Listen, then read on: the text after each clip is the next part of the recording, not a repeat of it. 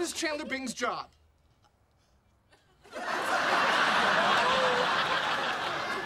gosh. This has something to do with numbers and processing. Well, and he carries a briefcase. Ten seconds. You need this or you lose the game. It's, um, it has something to do with trans.